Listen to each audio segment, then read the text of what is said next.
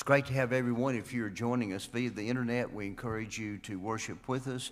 I do want to remind you that immediately, following these services that we will have the monthly men's meetings, and then after that we will eat downstairs, and then we will be going to uh, to carry on with our door uh, uh, tags. Uh, I'm not going to mention all those who are sick. I do want to mention uh, Alexis and Kimmy. Both of them uh, are waiting for results of their tests, and we just want to make sure that everything uh, has um, that everything is good uh, with them. There's a long list of people who are in need of our prayers, and you might want to look in the bulletin, or if you don't have a bulletin, if you could just listen to the first service uh, then we made a long list. In just a moment, Jack will continue leading us, and Kyle will have our Bible reading and prayer. Good morning. Uh, 233 will be the opening song. 233 Footprints of Jesus.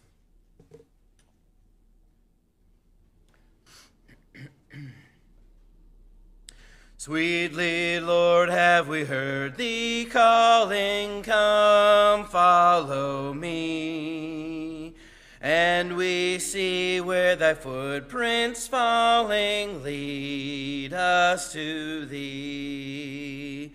Footprints of Jesus that makes the pathway glow. We will follow the steps of Jesus where'er they go.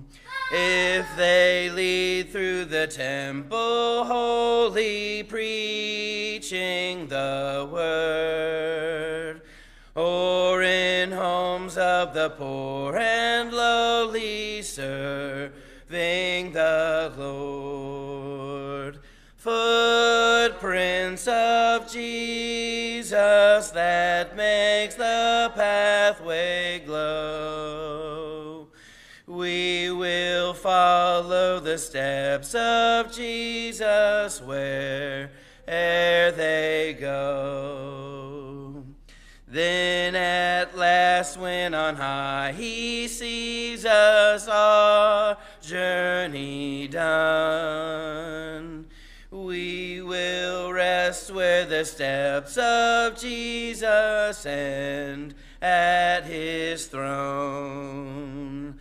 Footprints of Jesus that makes the pathway glow. We will follow the steps of Jesus where'er they go.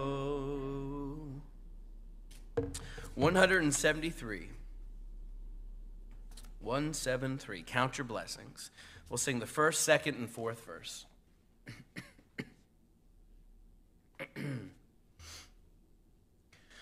When upon life's billows you are tempest tossed, when you are discouraged, thinking all is lost, count your many blessings, name them one by one, and it will surprise you what the Lord hath done. Count your blessings, name them one by one. Count your blessings, see what God hath done. Count your blessings, name them one by one. Count your many blessings, see what God hath done. Are you ever burdened with a load of care?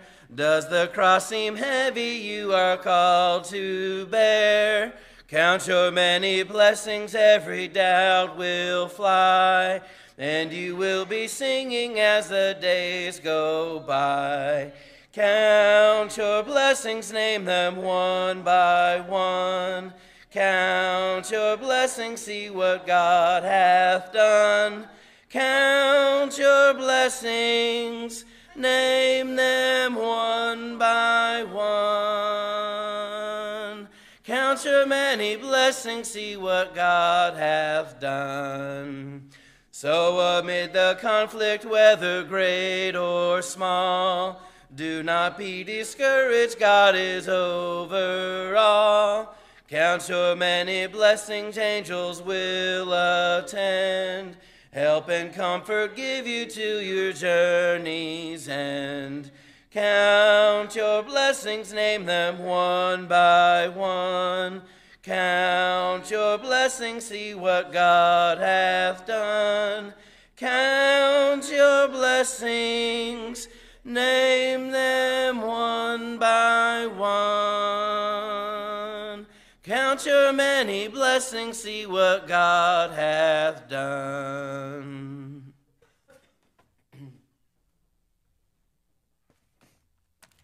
Scripture reading would be uh, Genesis uh, chapter 3, verse 1. Genesis chapter 3, verse 1.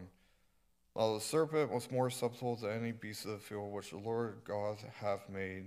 And he said unto woman, Yea, hath God said, Ye shall not eat of every tree of the garden. Would you bow me, please? Dear our Father, we come to you once again. Uh, we're able to uh, worship you in the in spirit and in truth. Uh, we ask you to be with Kimmy and Alexis, be with Norman, Sister Kitty, be with Norman Dalton. Please be with um, uh, baby Nash, baby Haley, baby uh, Kaida, baby Eliana. Uh, please be with um, uh, with the door tags uh, and those who are doing the Bible correspondence and uh, studying to your word. In Jesus' name we pray. Amen.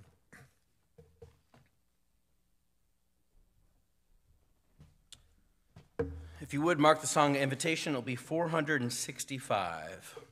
465, Are You Washed in the Blood? And before the lesson, we'll sing 170. 170. A shelter in the time of storm.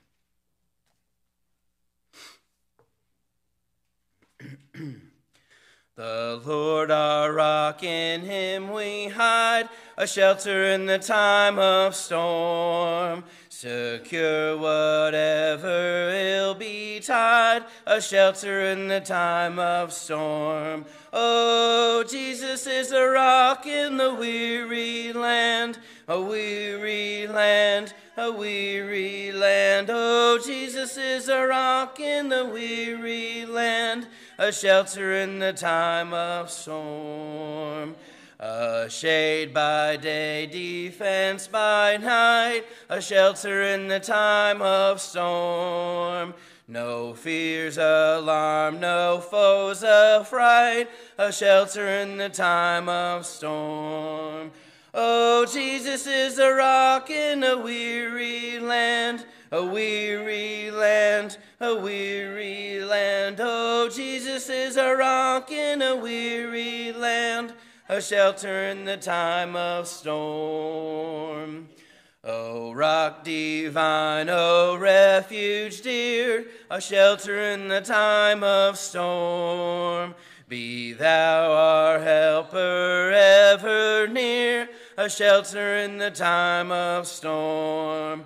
Oh, Jesus is a rock in a weary land, a weary land, a weary land. Oh, Jesus is a rock in a weary land, a shelter in the time of storm.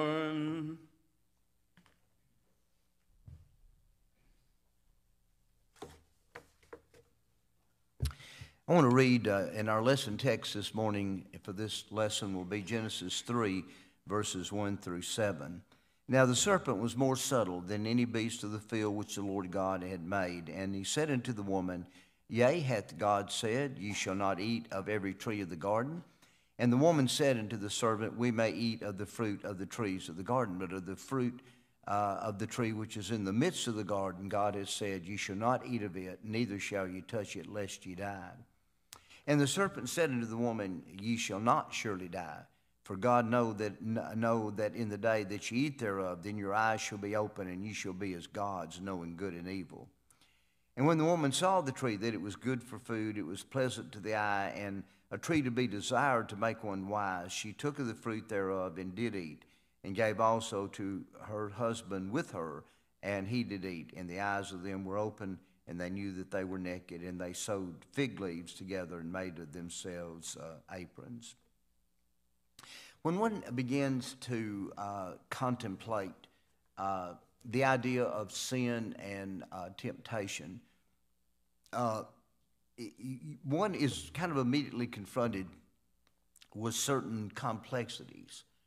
Um, and we are, we are also confronted uh, with dilemic things in our minds that, um, that we sometimes use to mitigate sin. By which I mean, you know, we think, well, you know, we're in the world, the world has all these temptations, the devil's so active, and all these things are happening. But I think it's very important to remember that in the Garden of Eden, where Eve and Adam were at that time, there was zero sin, not one sin. In heaven, there was no sin. Now, the common denominator in both of those equations would be the devil, who tempted Eve, and, and the devil who led the rebellion uh, that uh, caused a, myr- a myriads of angels to uh, follow in him, with him. Uh, however, uh, if one were to argue that, well, I mean, the, you know, the environment and all would be causal, uh, then that would, that, that would be an invalid uh, argument because what environment was there in heaven that would have been causal? What environment was there in the Garden of Eden that was really typical of heaven, like heaven? Uh, in fact, so typical, in fact, that the tree of the knowledge of good and evil, uh, I mean, the, not that, but the tree of life is now in heaven with God. So there's nothing causal that is associated with, with those things. Now, so when you begin to look at sin and the unfolding of sin and the scheme of redemption and everything that is involved in it, it is uh, a curious discovery. Um, for example, in uh, chapter 8 of Genesis, uh, the flood is over and Noah uh, does an altar and he offers a sacrifice to God. And God said it was a sweet savor. And that tells you that God accepted the sacrifice. And then the text says that God in his heart, in his heart, and we were, by revelation, we were, we were uh, able, we we're able to know what God said in his heart. And undoubtedly, this is something that would have been said in the hearts of all three members of Godhead. And what they said is, we're not going to destroy the world anymore. There will be no cleansing, world cleansing anymore. Uh, and then the reason is given because humans in their heart and all, they're just evil. They're just, they're going to commit sin. So the way to deal with sin is not by cleansing in the sense that it occurred in the Noetic event. That won't work. In fact, it won't be long until after the flood that Noah himself will get drunk. And then other sin will come from that. So if the solution is to so cleanse everything that it solves the problem of sin, then uh, there's no answer there at all because you have the utopia of heaven and the utopia of the Garden of Eden. It didn't work then. And then you have the cleansing and the restarting. The world is like restarted, not in totality, but as, as, as it relates to the globe, to this earth uh, itself, uh, it is, uh, it, it, is re, it is redone. So, so that's not going to work, and God's not going to do that anymore. So the answer is not this universal cleansing by destruction, it is salvation. Salvation is the answer. Why? Because humans are going to sin. That's just the way it is. And things cannot be so clean and so perfect that they won't sin. It just ain't going to work that way. So there's got to be another solution. And that other solution has got to be the salvation of the human race. Now, if you play on the ball field of the devil, uh, you're into a lose-lose situation. The devil counts on the sin, on sin, its consequences. And if it's tit for tat, you don't really have, you don't have much hope. So what did God do? God sent his only begotten son who voluntarily came and, and, and lived under a law system, sinless, and died for the sins of the world to do something that would cut the throat of the devil forever and destroy evil forever. He created a situation whereby sin that humans were gonna commit would be forgiven and taken away as if they had never happened. That's such an unbelievable thing. Now, underlying all of that is a whole nother subject matter that I hope to address pretty soon in a sermon, and that is the discovery uh, is that on the part of God uh, as it relates to matters of free choice and the whole matter, which is an entirely different matter, but it's also important. So, having said all of that, I am now curious as to what happened in the Eve event. Uh, because here we have the first temptation of the, uh, of the human race, uh, and it is conducted by the devil, who himself is a fallen angel. And who him, so, so in heaven, there is no physicality. Uh, people are not physical, they're spirits. So the things that we think of as being tempting to us, we most often associate with physicality, which is not an accurate, a totally accurate view of it. Because the thing that did the devil and his angels uh, in was not physicality at all, it was pride. Pride transcends physicality. You cannot even have physicality and have pride. And that's what did, and that's what did, uh, you know, uh, the devil and the angels that followed him uh, in because they, you know, we learned that in the qualification of elders. He was lifted up with pride, the brightness, the beauty. He was obviously beautiful. Whatever that means, uh, he was beautiful. And that, and that beauty alone was an enticement to the other uh, angels. Isn't that interesting? I mean, when you begin to look at all that is involved in it. However, when you look at the Genesis 3 account and the temptation, uh, it is a, a miniature textbook on how temptation works. And so I want to take a few moments in, in just a very simple way.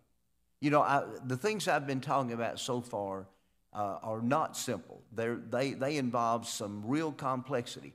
So now I want to I want to change the dial and I want to look at just simple stuff. What is it that did Eve in? The first mistake that she made is she listened. And, and she listened to someone other than God. Now, there are no other humans in the uh, Garden of Eden uh, narrative to listen to. She didn't listen to uh, her, her mother or her aunt or her children. There's just, there is she and her husband. And then there's God, of course. And they had already been communicating with God. So who else is there to listen to? Now there is another party.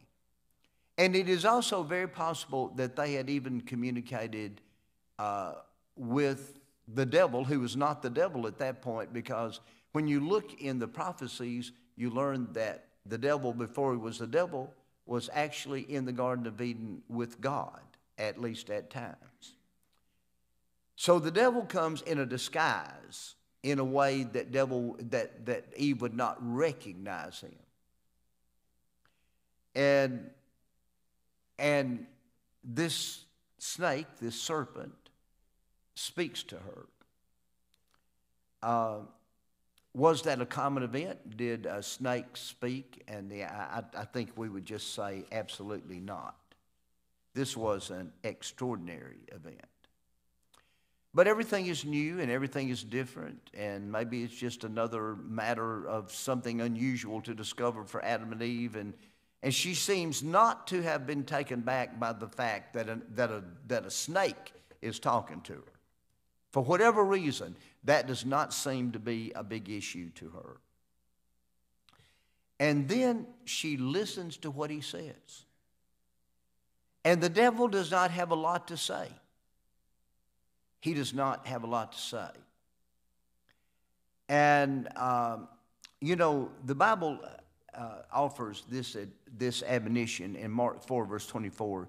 He said unto them, Take heed what you hear, and what because with what measure you meet, it shall be measured to you, and to unto you and to you that hear shall more be given. And here we have a, a uh, and you know, the take heed is, uh, it's, the Greek word is blepo, and it means examine. You examine what you hear. Now, that is a command that, that everybody must follow. Christians must follow. We must be careful what we listen to. And uh, some things we ought not listen to at all.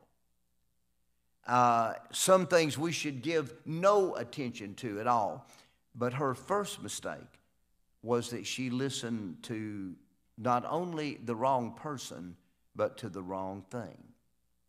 We also learn in Luke 8, verse 18, that we're to take heed how we hear. We not only take heed to what we hear, but how we hear. And that tells me that there is a right and a wrong way to hear things. That, uh, that we can hear things in a way that would set us up for a fall. For example, what if we have already prepared our hearing for a lie? What if there are certain things we want to hear, we want to believe that are not even reality? So if somebody comes and tells you something that you already want to believe, you're more likely to actually believe it. So, what does God want us to do? He wants us to love truth and, and to demand truth and uphold truth and listen to truth and have the discrimination to not listen when we shouldn't. So, the very first mistake that she made was she listened, she paid attention. Now, have you ever thought about all of our lives? Our lives are like a myriad of things happening in a single day. Uh, in fact, there's so much happening that we really give very little credence to what's going on. If you drive down the road, you see this, you see that, you hear this, you hear that. And unless it's something extraordinary, it's pretty mundane. You know, if you're driving down the road and you, and you meet a hundred uh, vehicles, you probably don't pay much attention to it unless one of them tries to run into you or nearly run you off the road. It's part of the mundanity of, of life. And there's so many things that we hear. You know, you can be going down the road and turn the radio on, and you hear this and you hear that. Just in normal conversation, here and there, always things that we hear. But there are there there's more than one way to hear. You can kind of hear and not hear. But once you get into the business of listening, that means you're paying attention.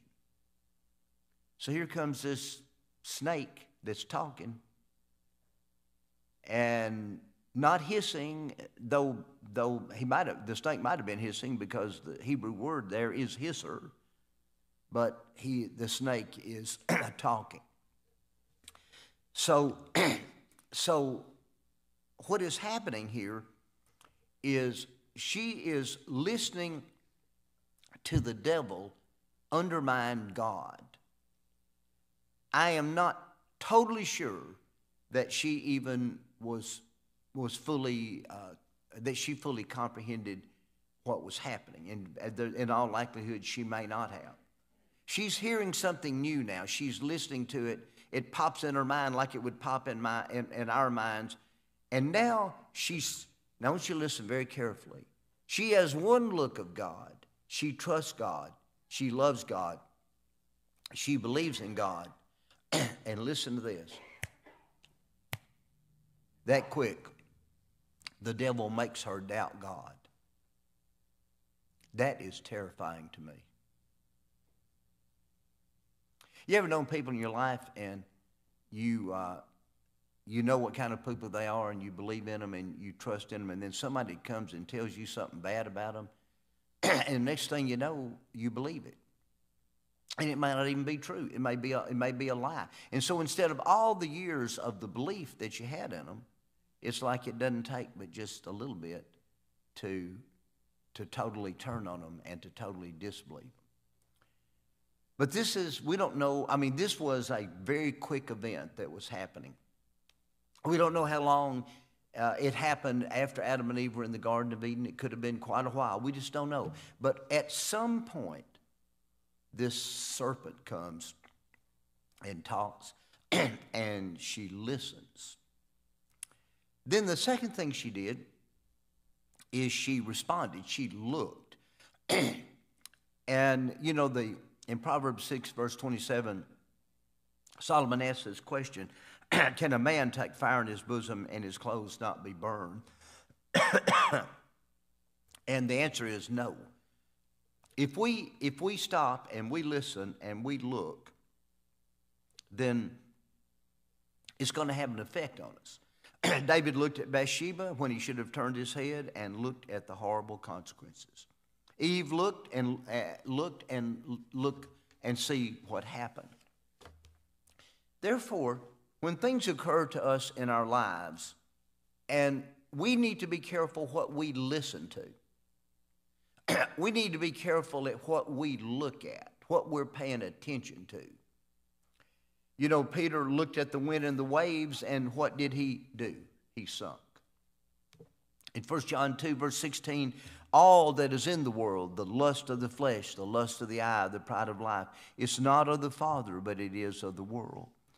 So, what John affirms here is that one of the greatest avenues to our hearts is through the lust and the desires that we have. Um, you know, in Matthew 5, verse 28, there's a striking statement uttered. It said that whosoever looketh on a woman to lust after her committeth adultery with her already in his heart. That would also be true of a woman. what would apply to the man here would be so that means that a person could commit adultery in their hearts without ever committing adultery in a physical act. And the truth of the matter is, is the uh, act of adultery would probably always begin in a person's heart and then it would be acted out, maybe or maybe not, uh, in the actual act. But the devil now makes her look. And what's fascinating is the tree of the knowledge of good and evil is in the middle of the garden. I have no idea in the world how big the garden was. But God put it right there in the middle, it was accessible. But what we learn here is she just didn't really pay any attention to it. Why? God said, Don't eat it. So she didn't pay any attention. That was something that God had said. The only thing that God had prohibited, as far as we know. Don't do that. Don't partake of the fruit uh, from the tree in the midst of the garden, the tree of the knowledge of good and evil. Don't do it. There's no telling how many times Adam and Eve passed that tree Never paid any attention to it. You know what happens in your mind? If you know there's something you just cannot do or something that's dangerous, what do you do? You, we generally don't pay a lot of attention to it. You know, uh, I don't know how many uh, bars that I drive by in my life, but I don't. I hardly ever pay attention to a bar unless something weird were to happen. You know, somebody might be pulling out of the parking lot and I have to look to not be run over. You know why? Because I'm not going to go in a bar. I'm not going to pay attention to a bar because I'm not going to go into a bar. Why would I care uh, or think about what's going to happen at the bar? But then the devil, the time the devil gets us to listen will soon be followed by us looking. Now we're paying attention to things and people that we ought not be paying attention to. And that's how it works. The next thing that happened is logical in a sequential way. She desires. You know, notice that John describes the three avenues through which Satan works. And included in this, of course, is the lust of the flesh. Now, James in James 1, verse 14 says, Every man is tempted when he's drawn away of his own lust, his own desires, and then he is baited. And then look at Genesis 3, verse 6. When the woman saw that the tree was good for food, it was pleasant to the eye, and it and and and to be desired to make one wise. Don't you listen to this? In this one event, all three avenues of temptation are right there. All three avenues. She's never noticed this thing. Now she looks. She undoubtedly had what was aware that was there and that there was a fruit. Now she looks and she never thinks about it before, but now this is good. You know what? This is good food. That would be really good fruit. And it looks good, it's beautiful. And then here's a real kicker if you eat this, you'll be wise. Wouldn't it be something if you could just eat a fruit or just eat a nut and then you'd be wise? You wouldn't have to try to be wise, you'd just be wise. And, and so, what did she do? Well, once she had listened and looked, and then she desires, and the next thing she does is she acts. She acts. You know, uh, the word pleasant here, by the way, is from a Hebrew word that literally means a desire. Uh, a desire. She desired it. She, she now, it's not abstracted anymore. Now it is entered enough into her heart and mind that she wants it. Once something comes into our hearts and minds and we want it, then, then the, the, uh, the engine to the train has not only been started, the train is now moving and it's going to it's going to engage more and more. Have you ever thought about how we act when we want something? You want something and you might even do research and try to find out about it. And then you go and then we go and we talk to someone else about it. And then we begin to see about the possibility of having it and how much would it cost and then what would it mean? And we look at all this stuff. And all that means is that the engine has started and now we're moving and we're moving toward it. It is a hard thing to stop that engine. Once that desire gets going, most people are going to push it to, till they get whatever they're looking for, whatever it may be, big or small. And then, and then as step four is she took, she acted on it. And, um, and what, did, what did David do? He looked at a woman. He didn't even know the woman. He desired the woman, found out who she was, and he, and he took her. Uh, because that's the system. That's how it works. You, you look, you, you listen, you, uh, you, you look, uh, you desire, and then you act on it. And that means that the train has arrived at the station. Now, what else happens? Isn't this just a roadmap to the way we live our lives? I mean, it shouldn't be, but it is. It's how it works. Now, then another thing happens. Now she tempts someone else.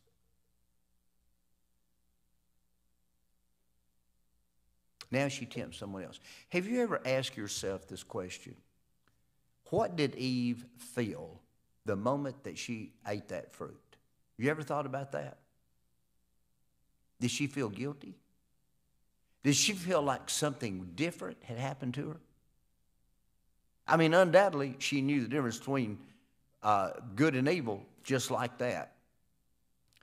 What I'm trying to tell you, and I don't think this is contemplated, is that whatever happened in the partaking of that fruit happened like that. It's having a big effect on her, like life and death effect. Big stuff happening, just like that. What does she do? She gets her husband. You think she cared about her husband? I, I think so, at least on some level. And she gives him the fruit, and he just he just took it. You know, I went to down down uh, the road where I lived in Tullahoma, Tennessee. There was a family that lived on the end of the road, and they were members of the congregation uh, where I attended.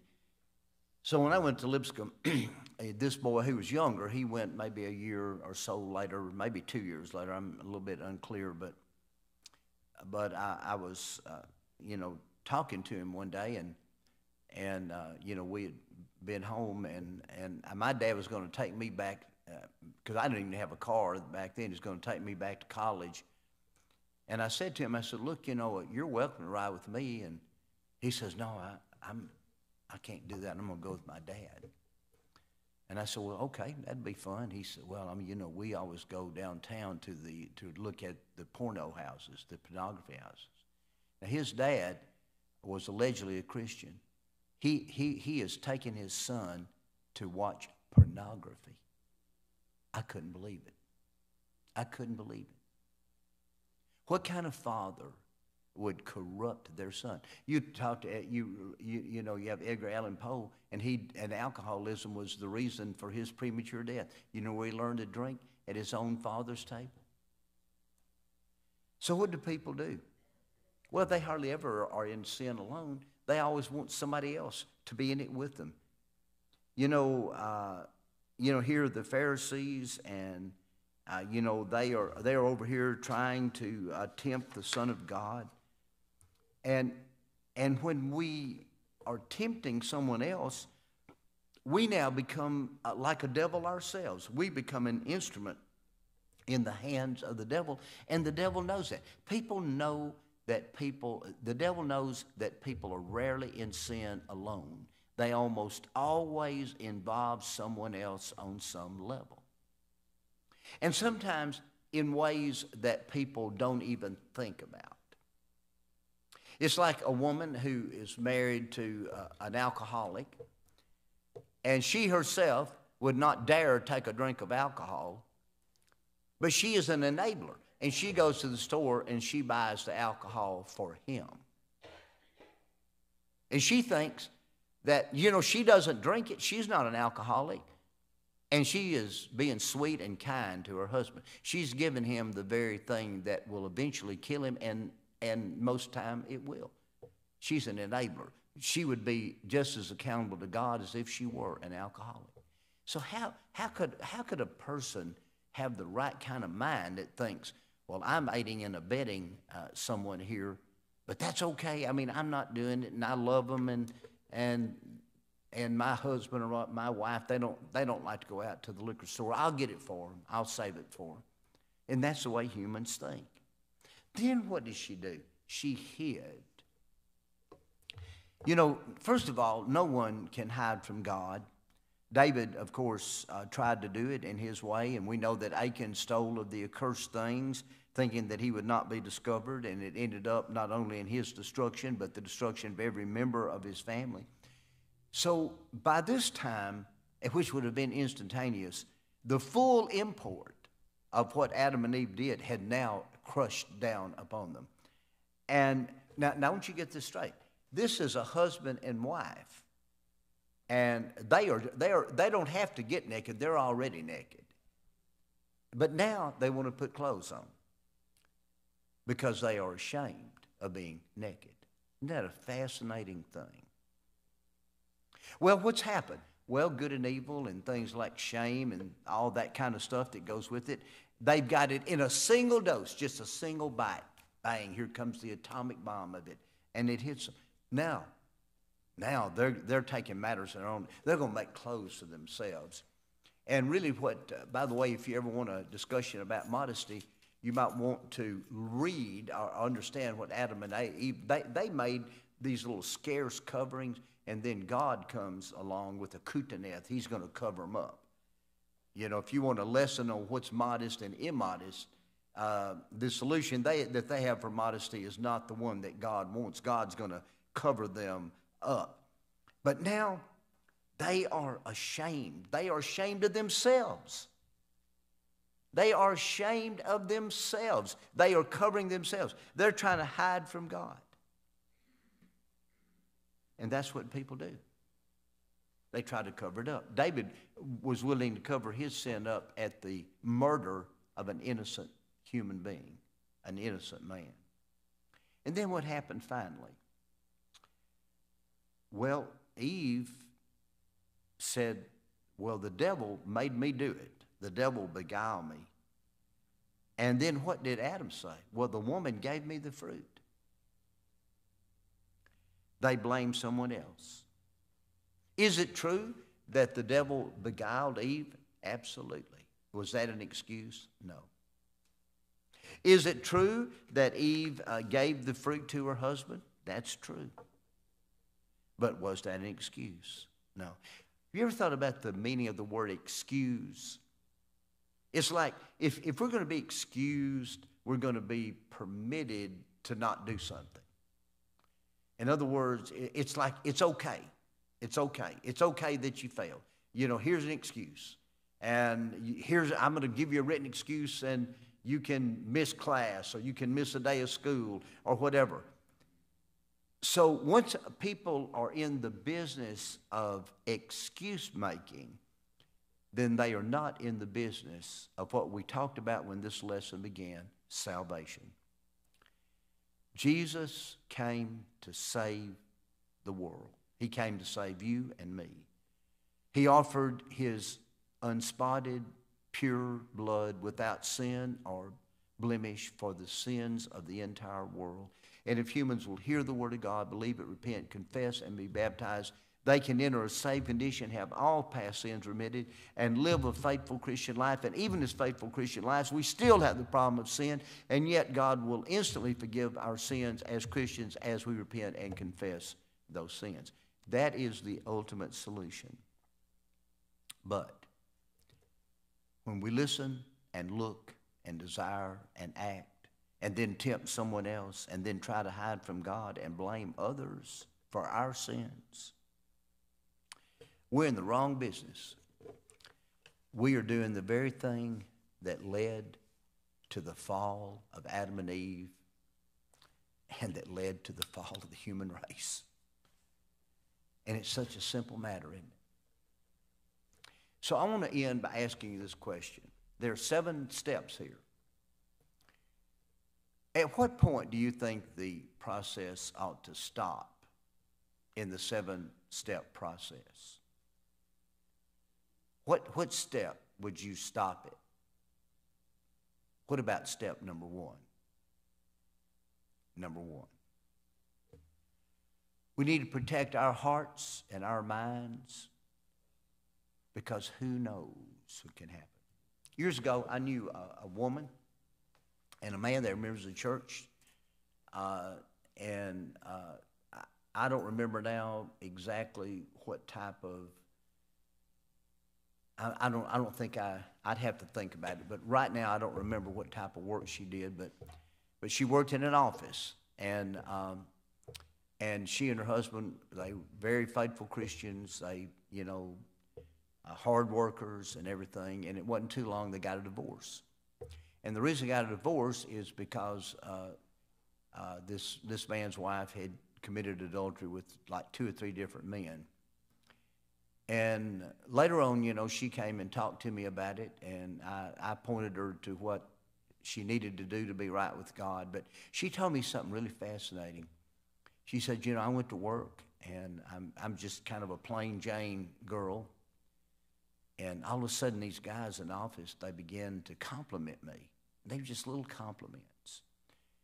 And I just never really thought of myself in these terms. I never thought of myself as being pretty or desirable on some level. And, and I really listened to all that stuff. And it, and it, it really bothered me because I, I really couldn't even think of a time to where my husband would even would ever tell me about how pretty I am and desirable and all that. And I don't mean by that that he ever mistreated me. It's just that, but these, these guys were all telling me this, and it never crossed my mind that, you know, they were, they were wanting to use me. And she said, and once I committed adultery with one of them, it was easy for another one and for another one. That's the way it works. She listened. She listened to the compliments, the motivation of which were, were not good. They were not good. You ever wonder, when somebody compliments you, you ever wonder why they compliment you? I learned something when I was a young preacher.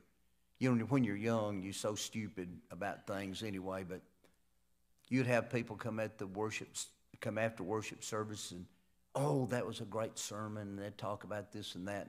When I was young, you know, it kind of had an effect on me, and I'd think, oh, that's great. And the same people two weeks later would come out and say terrible things to you. And it had a great impact on the way I thought. After that, I let whatever anybody ever said to me be like water off a duck's back.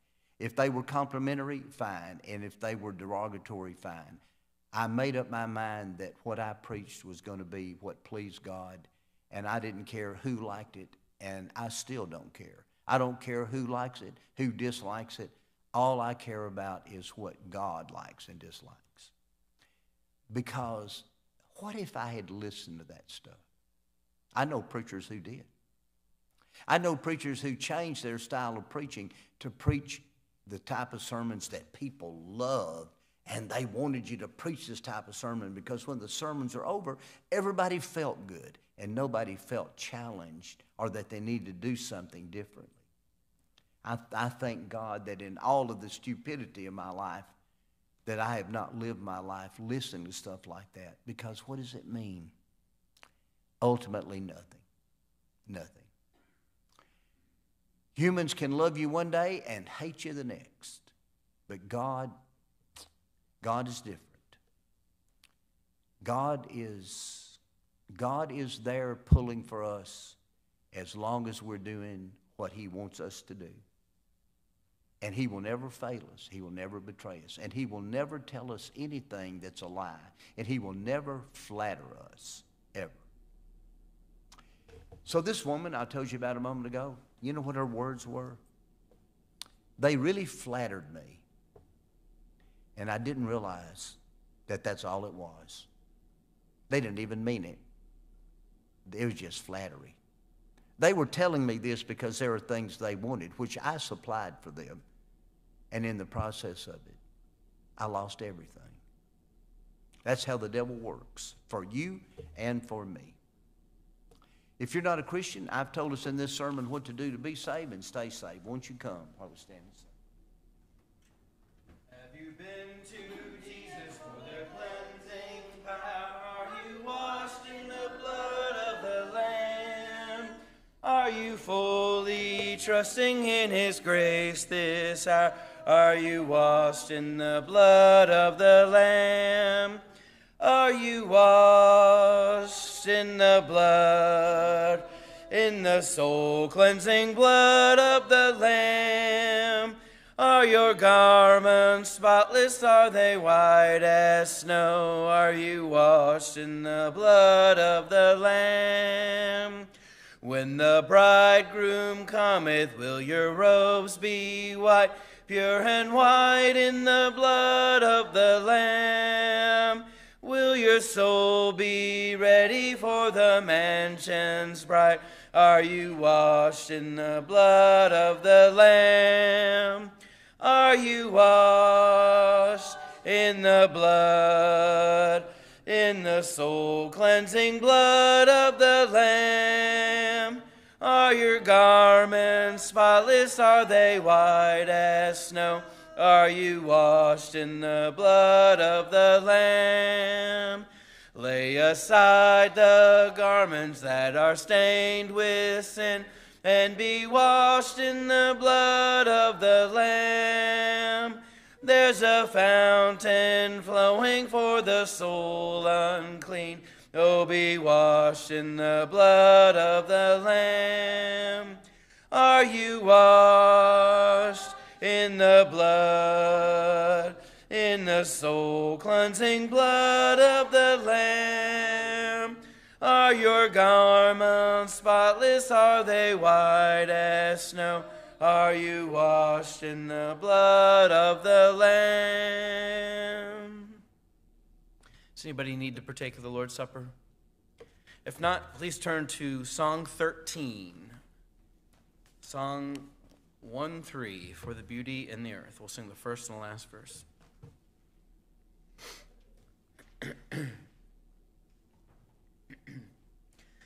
For the beauty of the earth, for the glory of the skies, for the love of my birth over and around us lies.